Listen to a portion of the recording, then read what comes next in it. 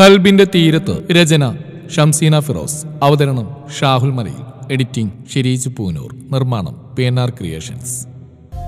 എന്റെ കയ്യിൽ നിന്ന് വാങ്ങിച്ചിട്ട് അടങ്ങുന്ന പോലെ നേർച്ചയുണ്ടോ നിനക്ക്? ഇതിനുള്ള മറുപടി അല്ലടി. ഞാൻ നിനക്ക് നാളെ ഒരു ദിവസം തന്ന്. ഞാനൊന്ന് സോഫ്റ്റ് ആയി നേരിട്ട് നീ ആ അവസരം മുതലെടുക്കാൻ നോക്കണ്ട. നീ ഫ്രണ്ട്സ് എന്ന് പറഞ്ഞ് കൈ നീട്ടുമ്പോഴേക്ക് ഇന്നാ എന്ന് പറഞ്ഞ് ഞാൻ എന്റെ കൈ നിന്റെ കയ്യിലോട്ട് വെച്ചിരുന്ന് കരുതിയോ? എന്നാലേ മോളാ പൂതി അങ്ങ് ഈ ജനൽ വഴി പുറത്തേക്ക് കളഞ്ഞേക്ക്. എന്റെ കൈക്ക് പണി ഉണ്ടാക്കരുത് വായ അടച്ചു വെച്ച് കിടക്കടിയോടെ പെട്ടെന്നാണ് അവന് ദേഷ്യം വന്നത്. അതുകൊണ്ട് അവൾ നീട്ടിയ കൈ അറിയാതെ പിൻവലിച്ചു പോയി. നന്നാവില്ലടാ നീ. ഒരു കാലത്ത് നന്നാവില്ല. അവൾ പിറുപിറുത്തു. വല്ലതും പറയാനുണ്ടെങ്കിൽ ഉറക്കെ പറയടി. ഇല്ല ഇവിടുന്ന് കാൽ വേദനിപ്പിക്കണ്ട. അങ്ങോട്ട് പോയിക്കൊന്ന് പറയാൻ വരികയായിരുന്നു. അവൾ പല്ല് കടിച്ചു പിടിച്ചുകൊണ്ട് പറഞ്ഞു. അവൾക്കും ദേഷ്യം വരുന്നുണ്ടായിരുന്നു. അവന്റെ കയ്യിൽ നിന്ന് വാങ്ങിക്കണ്ടെന്ന് കരുതി വേറെ ഒന്നും പറയാതിരുന്നു. നിനക്ക് എന്തിന്റെ കേടായിട്ടാ? എന്നെ കാണുമ്പോ ഈ ഫ്രണ്ട്സ് എന്ന് പറഞ്ഞ് കൈ നീട്ടുന്നു ബുദ്ധിയുണ്ടോ നിനക്ക്? ഒരു കാലത്ത് ഞാനത് അംഗീകരിച്ചില്ലെന്ന് എനിക്കറിയാം. പിന്നെ എന്തിനാ ചെയ്യുന്നത്? എന്റെ ദേഷ്യം കൂടട്ടെ എന്ന് കരുതിയോ? അവൻ ദേഷ്യത്തോടെ തന്നെ ചോദിച്ചു. ഇനിയൊന്നും കരുതിയിട്ടില്ല. ഞാനൊന്നും കരുതിയിട്ടില്ല. ഇനിയൊന്നും കരുതുന്നില്ല. എനിക്ക് ബുദ്ധിയുണ്ടോ എന്ന് ചോദിച്ചില്ലേ. ഇല്ല സമ്മതിച്ചു. ആ സാധനം എന്തെന്ന് പോലും എനിക്ക് അറിഞ്ഞൂടാ.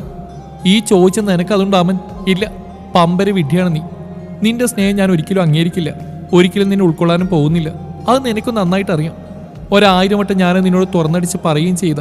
എന്നിട്ട് നീ എന്റെ സ്നേഹം കോച്ച് എന്റെ പിന്നാലെ നടക്കുന്നില്ലേ? അതിനോളം വിഡിത്തരാവോ? ഞാനിപ്പോ ചെയ്ത്. അപ്പൊ ആർക്കാ ബുദ്ധിയില്ലാത്ത എനിക്കോ? അതോ നിനക്കോ? നീ എത്രയൊക്കെ അട്ടഹസിച്ചിട്ട് ഒരു കാര്യമില്ല ഒരിക്കലും ഞാൻ നിനക്കോ നീ എനിക്കോ ഫ്രണ്ടാവാൻ പോകുന്നില്ല. ആവാ. എന്നാണെന്നറിയോ? നീ എന്റെ സ്നേഹം തിരിച്ചറിഞ്ഞ് എന്റെ ജീവിതത്തിലേക്ക് കടന്നു വരുന്നതിന് ശേഷം ഒരു ഭർത്താവ് ഭാര്യയുടെ മേൽ അധിപനാവുന്നതിനേക്കാൾ അവളുടെ ഏറ്റവും നല്ല സുഹൃത്തായിരിക്കണം എന്നല്ലേ? സോ ഫ്രണ്ട്സ് ആവാം. ആഫ്റ്റർ മാരേജ് നമുക്ക് പരസ്പരം അറിയുന്ന മനസ്സിലാക്കുന്ന ഏറ്റവും നല്ല ഫ്രണ്ട്സായി മാറാം. ഇപ്പം എനിക്കതിന് കഴിയില്ല. അതിനു വേണ്ടിയല്ല ഞാൻ നിന്റെ പിന്നാലെ കൂടി ഇരിക്കുന്നത് നിനക്ക് തന്ന വാക്ക് ഞാൻ പാലിച്ചിരിക്കും. നേരത്തെ നിന്റെ കയ്യിലേക്ക് കൈ ചേർത്ത് വെച്ച നിമിഷം മുതൽ തന്നെ മുന്നേ എന്റെ ഫ്രണ്ടാ എബിയെ പോലെ എന്റെ ഏറ്റവും നല്ല ഫ്രണ്ടായി കണ്ടോളാം ഞാൻ അവനെ. ഇന്ന് വരെ ഉണ്ടായതൊക്കെ മറന്ന് ഞാൻ അവനോട് കൂട്ടുകൂടാൻ ചെന്നോളാം. ഞാൻ നടക്കുമ്പോൾ എന്റെ ഇടം ഭാഗത്ത് എബി ഉണ്ടാകുന്ന പോലെ എന്റെ വലം ഭാഗത്ത് മുന്നേ വേണമെന്ന് ഞാനും ആഗ്രഹിക്കുന്നു. കാരണം ആദ്യമായിട്ടാണ് നീ എന്നോടൊരു കാര്യം ആവശ്യപ്പെടുന്നു. അത് ഞാൻ സാധിപ്പിച്ച് തന്നിരിക്കും. ഇനി നീ കോളേജിലേക്ക് വരുന്ന ദിവസം നിന്നെ കാത്തിൽക്കുന്ന കാഴ്ച അതായിരിക്കും. ഇനി മുതൽ താജ് എന്നോ മുന്നേ എന്നോ രണ്ട് ശക്തികളില്ല. ഒന്നേ ഉള്ളൂ. രണ്ടാളും ഒന്നാണ്. ഇത് ഞാൻ നിനക്ക് നൽകിയ വാക്കിന്റെ പൂർണ രൂപം.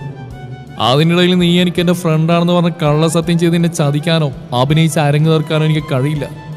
എന്തുകൊണ്ടെന്നാ ഞാൻ നിന്നെ സ്നേഹിക്കുന്നുണ്ട് ലൈല? മറ്റാരോടുള്ളതിനേക്കാൾ വാശി നിന്നോട് എനിക്കുണ്ട്. ആ വാശി തന്നെയാ നിന്നോടുള്ള സ്നേഹവും. അളന്നു പറയാൻ എനിക്ക് അറിഞ്ഞൂടാ. മറ്റുള്ള കാമുകന്മാരെ പോലെ പൈങ്കിളി ഡയലോഗ് പറയാനും. ഒന്ന് പറയാം ഇഷ്ടമാണ് എനിക്ക് വേണം നിന്നെ. അന്ന് പറഞ്ഞത് ഇന്നും പറയാനുള്ളൂ മനസ്സിലാക്കാൻ പറ്റുമെങ്കിൽ മനസ്സിലാക്ക് ഇല്ലെങ്കിൽ ഇവിടെ അടങ്ങി അടങ്ങിക്കിടക്ക്. ഇനി മേലാൽ എന്നോട് ഇക്കാര്യം പറഞ്ഞു പോവരുത്. എന്നോടി അവളെ ഒന്ന് കനപ്പിച്ച് നോക്കിക്കൊണ്ട് പുറത്തേക്ക് പോയി. അവളൊന്ന് ശ്വാസം എടുത്തു വിട്ടു. കയ്യും കാലും ഒടിഞ്ഞെടുപ്പായതുകൊണ്ട് ജീവൻ തിരിച്ചിട്ടി. ഇല്ലെങ്കിൽ ഇപ്പൊ ഞെക്കി കൊല്ലേണ്ട സമയം കഴിഞ്ഞവൻ. പുറത്തേക്ക് ഇറങ്ങിയപ്പോൾ മുന്നേയും സനുവിനെയും കണ്ടില്ല. അവൻ എബിയുടെയും നുസ്രയുടെ അടുത്തേക്ക് ചെന്ന് കോളേജിലേക്ക് പൊക്കോളാൻ പറഞ്ഞു. മുന്നെവിടെ പോവാനൊരുങ്ങിയ നുസ്രയുടെ വീടും താജി ചോദിച്ചു. എന്താ? അത് കേട്ട് രണ്ടാളും കണ്ണു തള്ളി ഒന്നിച്ച് ചോദിച്ചു. ചെവി കേട്ടൂടെ? മുന്നെവിടെയെന്ന് വെളിയിൽ പോയി. ബോറടിക്കുന്നു എന്ന് പറഞ്ഞ സനു മുഖം ചൊളിച്ചപ്പോൾ അവനെയും കൂടി കൂൾബാറിലേക്ക് പോയതാ. ഇപ്പോൾ വരും. നുസ്ര വേഗം പറഞ്ഞു. അവനൊന്ന് മുകളിൽ ചെയറിലേക്ക് ഇരുന്നു നൗസർ അപ്പോഴും കണ്ണും തള്ളി അവനെ നോക്കി നിന്നു. എബിയാണെങ്കിൽ ആകെ അന്തം വിട്ടിരിക്കുകയാണ് ഇനി ഇവന്റെ പിരിയെങ്ങാനും ഇളകി കാണും. കാണും കാണും. അല്ലാണ്ട് ഇവ മുന്നേ ചോദിക്കാനോ? നോ നെവർ എബി ആകെ സംശയത്തോടെ അവന്റെ അടുത്ത് ചെന്നിരുന്നു. നിന്നോടല്ലേ? പോവാൻ പറഞ്ഞേ. അവന്റെ ചോദ്യം കേട്ടതും എബി ഇരുന്ന് അതേ സ്പോട്ടിൽ എഴുന്നേറ്റു. പോവുക? അല്ല പോയി. വാ നുസ്ര എബി നുസ്രയും കൂട്ടി വേഗം അവിടുന്ന് പോയി. താജ് ദേഷ്യത്തിലാണെന്ന് എബിക്ക് മനസ്സിലായിരുന്നു. അവന് ഇഷ്ടപ്പെടാത്ത എന്തെങ്കിലും ലൈല പറഞ്ഞിട്ടുണ്ടാവുമെന്ന് ഊഹിച്ചു. എടാ താജ് എന്തിനായിരിക്കും മുന്നേ ചോദിച്ചത് പോകുന്ന പോക്കിൽ നുസ്ര എബിയോട് ചോദിച്ചു. എനിക്കെങ്ങനെ അറിയാനാ? നന്നാവും തീരുമാനിച്ചാണ് താജോ ഏയ് അതൊന്നായിരിക്കില്ല. വേറെ എന്താണ് എന്നാലും എന്തിനായിരിക്കും? അവൾ വീണ്ടും അതിനെ ചോദിച്ചുകൊണ്ടിരുന്നു. എബി അറിയില്ലെന്ന് പറയാനും എന്നിട്ട് അവൾ വിട്ടില്ല. സംശയത്തോടെ ചോദിച്ചുകൊണ്ടേയിരുന്നു. എന്റെ പൊന്നോ? ഒടുക്കം സഹായിക്കട്ട് എബി അവൾക്ക് നേരെ കൈകൂപ്പി കാണിച്ചു. അത് കണ്ട് അവളൊരു അവിഞ്ഞ ചിരിയിരിച്ചു കുരിശ് ചുമന്ന പോലെ ആയല്ലോ. കോളേജിലേക്ക് എത്തുമ്പോൾ ഞാൻ ബാക്കിയുണ്ടായ മതിയായിരുന്നു. എ ബി അവളെ മൊത്തത്തിൽ നോക്കിയിരുന്ന് നെടുവീർപ്പോടെ പറഞ്ഞു. ഞാനൊന്നും മിണ്ടില്ല. പോരെ. ആ എന്നാ നിനക്കൊള്ളാം അല്ലെങ്കിൽ നീ എന്നെ എന്ത് ചെയ്യുന്ന? അവൾ എബിയെ തുറിച്ചു ഇങ്ങോട്ട് ചോദിച്ചു. സോറി മുത്തേ എനിക്ക് കൊള്ളുന്ന പറഞ്ഞു. ഒരു വാക്ക് പിഴ ആർക്കാ സംഭവിക്കാത്ത ഒന്ന് ക്ഷമിച്ചേരുന്ന്. അവൻ വളരെ നിഷ്കുഭാവത്തോടെ പറഞ്ഞു. അത് കണ്ട് അവളൊന്ന് ചിരിച്ച്. പോടാന്നും പറഞ്ഞ് അവന്റെ പള്ള നോക്കി ഒരു കുത്തുവെച്ച് കൊടുത്തു. ഡാ ഞാൻ വരുന്നു. ഡാ നിക്ക്. എന്റെ കയ്യിൽ കാശൊന്നുമില്ല. ഞാൻ മുന്നേട്ട് ഒന്നിച്ചാ വന്ന് എന്നെ കൂട്ടിയിട്ട് പോടാ. അവൾ ഓടി വന്ന് അവന്റെ കയ്യിൽ പിടിച്ച് നിർത്തിച്ചുകൊണ്ട് പറഞ്ഞു. പിന്നെ ആ വെയിറ്റ് ആണെന്ന് നിന്നില്ല. അവൾ നോക്കി ഇപ്പം എങ്ങനെയുണ്ടെന്ന് ചോദിച്ച് ഒന്ന് സൈറ്റ് അടിച്ച് കാണിച്ച് ചിരിച്ച് അവളെയും കൂട്ടി നടന്നു. താഴേക്ക് ഇറങ്ങുമ്പോൾ മുന്നേയും സ്ഥാനവും വരുന്നുണ്ട്. ഞാൻ ഇവന്റെ കൂടെ പോവാണ്. നീ പയ്യവാ ആ പിന്നെ താജ് നിന്നെ ചോദിച്ചിരുന്നു. നുസ്ര മുന്നയോട് പറഞ്ഞു. ശരിയെന്ന് പറഞ്ഞ് പോവാൻ നിന്നെങ്കിലും മുന്നയുടെ മനസ്സിൽ ചോദിച്ചിട്ടുണ്ടായിരുന്നു എന്തിനായിരിക്കും താജിനെ അന്വേഷിച്ചതെന്ന്. അത് എബിക്ക് മനസ്സിലായി. AB മുന്നയുടെ shoulder കൈവച്ചു. പ്രശ്നത്തിനൊന്നും ആയിരിക്കില്ല നിന്നെ അവിടെ കാണാനായിട്ട് ചോദിച്ചായിരിക്കും. നീ ചെല്ല്. എബി പറഞ്ഞു. മുന്നയൊന്ന് തലയാട്ടിക്കൊണ്ട് പോവാൻ നോക്കിയതും ഒപ്പം സനുവിനെ കാണുന്നില്ല. ഇതെവിടെയെന്ന് കരുതി ചുറ്റും കണ്ണുകൾ വായിച്ചും തൊട്ടടുത്ത് തന്നെ നുസ്രയെ പറ്റിച്ചേർന്ന് നിന്ന് കത്തിവെക്കുന്ന കണ്ടു ഒന്ന് വിടറിയവനെ കുട്ടികളെ വഷളാക്കാൻ. മുന്നേ സനുവിനോട് വാടാന്ന് പറയാൻ നോക്കിയതും എബി വേഗം നുസ്രയോട് പറഞ്ഞു. അത് കേട്ട് സനുവും മുന്നേ ചിരിക്കാൻ തുടങ്ങി. നീ പോടാ മര ആ മരപ്പെട്ടിയെങ്കിൽ മരപ്പെട്ടി. ഇപ്പൊ നീ വാ ലേറ്റാവുന്നു ദേഷ്യം തീർന്നെങ്കിലേ ഇനിയും വിളിച്ചോ നീ. കോളേജ് എത്തുന്നവരെ ടൈമുണ്ട് ഇപ്പൊ നീ ഒന്ന് വരാൻ നോക്ക്. മുന്ന സനു പോവാണേ. എന്ന് പറഞ്ഞുകൊണ്ട് എബി അവളുടെ കയ്യിൽ പിടിച്ച് വേഗം നടന്നു. എബിയുടെ അവിടെയും കളി കണ്ട് ചിരിച്ചുകൊണ്ട് മുന്നേയും സനുവും മുകളിലേക്ക് കയറി. അവളെ ആരും കൊണ്ടുവിടണ്ടാന്ന്. ടാക്സി വിളിച്ചാൽ മതിയെന്ന്. മുന്നേ കണ്ടതും താജ് എണീറ്റ് അവന്റെ അടുത്തേക്ക് ചെന്ന് ഒരു മുഖവരിയും കൂടാതെ പറഞ്ഞു. താജിന്റെ ആ പെരുമാറ്റം മുന്നേ വല്ലാതെ അത്ഭുതപ്പെടുത്തി. മുന്നേ മാത്രമല്ല സനുവിനെയും. രണ്ടൊന്നും മിണ്ടിയില്ല. താജിന്റെ മുഖത്തേക്ക് തന്നെ നോക്കി നിന്നു. ഞാൻ പോയി ടാക്സി വിളിച്ചു വരാം. നീ ഡിസ്ചാർജിന്റെ കാര്യം നോക്ക്. വീണ്ടും താജ് പറഞ്ഞു. മുന്നേ എതിർപ്പൊന്നും പറഞ്ഞില്ല. ശരിയെന്ന് പറഞ്ഞ് ഡോക്ടറെ കാണാൻ പോകാൻ നിന്നു. താജ് അവനെ തടഞ്ഞു. എന്തെന്ന ഭാവത്തിൽ അവൻ താജിനെ നോക്കി. ഞാൻ പ്രശ്നം ഉണ്ടാക്കുന്നു കരുതിയിട്ടല്ലേ? നീ അവിടെ അടുത്തേക്ക് ചെല്ലാത്ത ഞാനൊരു പ്രശ്നത്തിനും വരില്ല. ചെന്നോ. താജ് പറഞ്ഞു മുന്നൊക്കെ എന്ത് പറയണമെന്ന് അറിഞ്ഞില്ല. താജിന്റെ പെരുമാറ്റം അവനും സനുവിനും വിശ്വസിക്കാൻ കഴിയുന്നുണ്ടായിരുന്നില്ല. ചെൽ താജ് മുന്നയുടെ തോളിൽ തട്ടി പറഞ്ഞു. പിന്നെ അവിടെ നിന്നില്ല. വേഗം താഴേക്ക് ഇറങ്ങിപ്പോയി. ഏ അളിയൻ നന്നായി തോന്നുന്നു. സനു നഖം കടിച്ചുകൊണ്ട് പറഞ്ഞു. അളിയനോ? മുന്നേ നെറ്റി വിളിച്ച് സനുവിനെ നോക്കി. ആ അളിയൻ തന്നെ. അപ്പൊ നിങ്ങൾ അറിഞ്ഞില്ല കാര്യം? ഞാൻ താജിനെ എന്റെ അളിയൻ സ്ഥാനത്തേക്ക് എടുത്തു. ഞാൻ താജിന് വാക്ക് കൊടുത്തു ലൈലുവിനെ നിങ്ങൾക്ക് എന്നെ തരാന്ന്. പക്ഷെ ലൈലു സമ്മതിച്ചിട്ടില്ല. വൈകാൻ സമ്മതിക്കും. ഇല്ലെങ്കിൽ സമ്മതിപ്പിക്കും ഞാൻ ലൈലുവിനെ. ഞാൻ വാശി പിടിച്ച് അനുസരിക്കാതെ നിൽക്കില്ല. എന്നെ വിഷമിപ്പിക്കില്ല അവൾ. ഞാൻ ഒരുപാട് വട്ടം പറഞ്ഞ അവൾ ഉറപ്പായിട്ടും താജിനെ അംഗീകരിക്കും. ഞാൻ മാത്രമല്ല നിങ്ങളും കൂടി ഒന്ന് ശ്രമിക്കണേ മുന്നേ. നിങ്ങൾക്ക് താജിനുള്ള ദേഷ്യമൊക്കെ നിങ്ങൾ മാറ്റി വെക്കണം. ഇപ്പൊ താജ് നിങ്ങളോട് സംസാരിച്ചില്ലേ? അതുപോലെ തന്നെ നിങ്ങളും സംസാരിക്കണം. നിങ്ങൾ നല്ല ഫ്രണ്ട്സ് ആവണം എന്ന് ലൈലുവിനെ പറഞ്ഞ് മനസ്സിലാക്കണം. താജ് അവൾ എത്രമാത്രം സ്നേഹിക്കുന്നുണ്ടെന്ന്. എങ്ങനെയെങ്കിലും അവളുടെ മനസ്സിൽ താജിനെ കയറ്റണം. താജിന്റെ പ്രണയം അവൾ അംഗീകരിക്കണം മുന്നേ. കാരണം അവൾക്ക് ശരിയോ താജാണ്. താജ് മാത്രമേ അവൾക്ക് ചേരുള്ളൂ. താജുവിന് ഒരുപാട് ഇഷ്ടമാണ് ലൈലുവിനെ. ഈ ദേഷ്യവും വാശിയും മാത്രമല്ല. അതിനപ്പുറം വലിയൊരു മനസ്സുണ്ട് താജിന്. അത് ഞാൻ മനസ്സിലാക്കിയതാ മുന്നാ. നിങ്ങൾ പറയണം അവളോട് താജിനെ സ്നേഹിക്കാൻ. നിങ്ങൾ പറഞ്ഞാൽ കേൾക്കും അവൾ. അവളെ പൂർണമായിട്ട് അറിയുന്ന ആളല്ലേ നിങ്ങൾ പറയില്ലേ മുന്നേ? അവളോട് നിങ്ങൾ താജിനെ കുറിച്ച് സംസാരിക്കില്ലേ? പ്ലീസ് സനു നിന്ന് കെഞ്ചുന്ന പോലെ പറഞ്ഞു. മുന്നേക്ക് എന്തു പറയണമെന്നൊന്നും അറിഞ്ഞില്ല. സനു പറയാത്തന്നെ താജിനെ കുറിച്ച് അറിയാം. പുറമേ കാണുന്ന ദേഷ്യവും വാശിയും മാത്രമേ ഉള്ളൂ അവന്. അകത്തുനിന്ന് തന്നെ സൂക്ഷിക്കാറില്ല നന്നായിട്ട് അറിയാം. ഒരു തരി പോലും കറയേൽക്കാത്ത ഒരു മനസ്സിനുടമയാണ് അവനെന്ന് എപ്പോഴേ മനസ്സിലാക്കിയതാണ്. അവനോട് തനിക്കൊരു ദേഷ്യവുമില്ല. പകരം അവന്റെ രീതികളോട് ഇഷ്ടവും അവന്റെ നല്ല മനസ്സിനോട് ബഹുമാനവുമുണ്ട്.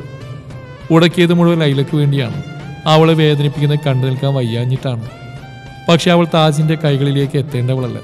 മറ്റൊരു കൈകളിലേക്ക് എത്തിച്ചേരേണ്ടവളാണ് എന്റെ റമി ആഗ്രഹിച്ച കൈകളിലേക്ക്. റമിക്ക് നൽകിയ വാക്ക് പാലിച്ചേ മതിയാവുകയുള്ളൂ. വെറും വാക്കല്ല. അവന്റെ ആഗ്രഹമായിരുന്നു. അത് മറന്നു കളയാനാവില്ല എനിക്ക്. എന്നോട് പൊറുക്കണം താജ്. അവൾ നിനക്ക് അവകാശപ്പെട്ടവളല്ല. നിന്നെപ്പോലെ വീറും വാശിയും കരുത്തൊക്കെയുള്ള മറ്റൊരാണിനെ അവകാശപ്പെട്ടതാ. നീ അവളെ മറന്നു കളയണം. മറന്നേ പറ്റുള്ളൂ. മുന്ന എന്താന്ന് പറയാത്ത? പറ്റില്ലേ നിങ്ങൾക്ക്? അവളെ പറഞ്ഞു മനസ്സിലാക്കാൻ? അവനൊന്നും മിണ്ടായെന്തോ ചിന്തിച്ച് നിൽക്കുന്നാണ്ട് സനു ചോദിച്ചു. പറ്റും. അവൾക്ക് നമുക്ക് പിന്നീട് ശരിയാക്കാം. അവൻ അകത്തേക്ക് പോയി. അവനെ കണ്ടതും അവളും ചിരിച്ചു. ചിരിക്ക് വലിയ വോൾട്ടേജ് ഒന്നുമില്ല. ഇത്രയും നേരമായിട്ടൊന്ന് വന്നു നോക്കാത്തതിന്റെ പരിഭവം അവൾക്കുണ്ടെന്ന് അവന് മനസ്സിലായി. ഒന്നുമില്ലടാ എന്ന് പറഞ്ഞ് അവൾ അവന്റെ കയ്യിൽ പിടിച്ചു. വീട്ടിലേക്ക് വിളിക്കുന്നില്ല. വരില്ലെന്നറിയാം. വേറെ എവിടെയെങ്കിലും നോക്കാമെന്ന് പറഞ്ഞാൽ അതിന് നീ സമ്മതിക്കില്ല. സൂക്ഷിക്കണം ഇല്ല കുറച്ചൊന്നുമല്ല ഒരുപാട് സൂക്ഷിക്കണം. ഇന്ന് നിന്നെ വീഴ്ത്തിയവർ നാളെ നിന്നെ കൊല്ലാൻ ശ്രമിക്കും. എപ്പോഴും ശ്രദ്ധ വേണം. സനുവിനോട് ഞാൻ പറയാം കുറച്ചധികം ശ്രദ്ധയോടെ ഇരിക്കുക. നല്ലപോലെ റെസ്റ്റ് എടുക്കണം. വേദനയ്ക്ക് കുറഞ്ഞ ശേഷം കോളേജിലേക്ക് വന്നാൽ മതി. താജ് ടാക്സി വിളിക്കാൻ പോയിട്ടുണ്ട്. ഇപ്പോൾ പോകട്ടോ ഞാൻ ഡോക്ടറെ കണ്ടിട്ട് വരട്ടെ. അവൻ എണീറ്റ് പുറത്തേക്ക് പോയി. താജ് ടാക്സിയുമായി വരുമ്പോഴേക്കും ഡിസ്ചാർജ് കഴിഞ്ഞ് സനുവും മുന്നേ താങ്ങി പിടിച്ച് അവളെ പുറത്തേക്ക് കൊണ്ടുവന്നിരുന്നു. താജിനെ കണ്ടതും സനു പിടിവിട്ടു. അവളോ മുന്നേ അത് പ്രതീക്ഷിച്ചിരുന്നില്ല. ഒരു ഭാഗത്തേക്ക് ചെരിഞ്ഞു വീഴാനായി അവൾ. പക്ഷെ അപ്പോഴേക്കും താജ് അവളുടെ കയ്യിൽ പിടിച്ച് ശരിക്കും നിർത്തിച്ചിരുന്നു. സനുവിന്റെ കണ്ണും കാതും പൊട്ടുന്ന തരത്തിൽ അവൾ തെറി വിളിച്ചു. അതൊന്നും അവനെവിടെയും ഏശിയില്ല ഇനി വീഴ്ത്തിരി ഞാൻ നിന്നെ എന്നും പറഞ്ഞ് അവനവിടെ നോക്കി കണ്ണുരുട്ടി കാണിച്ചു. ആ? എന്നാ നീ വിവരം അറിയടാ. താജ് അവനെ നോക്കി പേടിപ്പിച്ചിട്ട് പറഞ്ഞു. ഓ ഇവിടെ തൊട്ടാ ചോദിക്കാൻ എത്ര പേരാ? ഞാനിങ്ങ് തൊടുന്നില്ല. നിങ്ങളുടെ പെണ്ണിനെ. പോരെ. സനു മുഖം വീർപ്പിച്ചുകൊണ്ട് വണ്ടിയിലേക്ക് കയറി. അത് കണ്ട് താജ് മുന്നേ ഒന്ന് ചിരിച്ചു. എന്നിട്ട് അവളെ പതുക്കെ വണ്ടിയിലേക്ക് കയറ്റി. വണ്ടി സ്റ്റാർട്ട് ചെയ്തപ്പോൾ അവൾ മുന്നയോട് പോവട്ടെ എന്ന് പറഞ്ഞു. ശേഷം താജിനെ നോക്കി. അവൻ അവളെ തന്നെ നോക്കുന്നുണ്ടായിരുന്നു. അവനോട് അവൾ പോവട്ടെ എന്ന് പറഞ്ഞു. അവൻ ഓക്കെ ടേക്ക് എന്ന് മാത്രം പറഞ്ഞു. ടാക്സി പോയതും അവൻ ജിപ്സിയിലേക്ക് കയറി. മുന്നിയുടെ വണ്ടിയൊന്നും അവിടെ കണ്ടില്ല. അതുകൊണ്ട് മുന്നിയോട് വരുന്നോ എന്ന് ചോദിച്ചു. ഇല്ല ബൈക്കുണ്ട് സൈഡിലാണ് പാർക്ക് ചെയ്തിരിക്കുന്നത് മുന്നേ പറഞ്ഞു. അവൻ പിന്നെ ചോദിച്ചില്ല. വണ്ടിയെടുത്ത് വേഗം വിട്ടു. അകത്തേക്ക് കയറുമ്പോൾ തന്നെ കേട്ടു. റൂമിൽ നിന്ന് മൂന്ന് പേരുടെ ഉച്ചത്തിലുള്ള സംസാരവും പൊട്ടിച്ചിരിയും. നീ മരിച്ചെന്ന് എഴുതി കാണും. അതിന്റെ ആഹ്ലാദം. സനു പുച്ഛത്തോടെ പറഞ്ഞു. റൂമിലല്ലേ? ഒന്നിന്റെയും മുഖം കാണണ്ടല്ലോ. അല്ലെങ്കിൽ ഇപ്പൊ കയറുമ്പോൾ തന്നെ മൂന്നും കൂടി എന്റെ ബാക്കിയുള്ള ജീവനും കൂടി എടുത്തേനെ ഞാൻ അവരുടെ വയറ്റിൽ തന്നെയാണ് ജന്മം കൊണ്ട്. ഇതിന്റെ ഉമ്മയാണെന്ന് പറയുമ്പോൾ എനിക്ക് അറപ്പ് തോന്നാലേലു ഇവരൊക്കെ ഞാനുണ്ടല്ലോ. സനു ദേഷ്യം കൊണ്ട് പല്ലടിക്കാൻ തുടങ്ങി. അവളൊന്നും മിണ്ടിയില്ല. അവന്റെ കയ്യിൽ അമർത്തി പിടിച്ച്. എല്ലാം ശരിയാവൂടാന്ന മട്ടിൽ ഒന്ന് കണ്ണുകളടച്ച് കാണിച്ച്. എനിക്ക് മനസ്സിലാവാത്ത നിന്നെ എങ്ങനെ കഴിയുന്നു ഇങ്ങനെ സഹിക്കാൻ? അവരോട് ക്ഷമിക്കാൻ എങ്ങനെ കഴിയും നിനക്ക്? എട്ടും പൊട്ടും തിരിയാത്ത പ്രായത്തിൽ ആ കൺമുമ്പിലേക്ക് ചരനെ മറ്റും മരവിച്ചു പോയ ഉമ്മാനെ കൊണ്ട് കിടത്തിയത്. അത് കഴിഞ്ഞ് വാപ്പാന്റെ പൊന്നുമോളായി വളരുന്ന കാലത്ത് എന്റെ വാപ്പാനെ അവർ എന്റെ മുമ്പിൽ കൊണ്ടുവന്ന് കിടത്തി. അതൊന്നും നോക്കാൻ പോലും പറ്റുന്നുണ്ടായിരുന്നില്ല. അത്രയ്ക്ക് കീറി പറഞ്ഞിരുന്ന ആ ശരീരം. അതിനേക്കാൾ വലുതാണോ ഇത്? അവളുടെ ശബ്ദം കൊണ്ടിരുന്ന് അവൻ അറിഞ്ഞു. പിന്നെയൊന്നും പറഞ്ഞില്ല. പതി അവളെ മുകളിലേക്ക് നടത്തിച്ചു.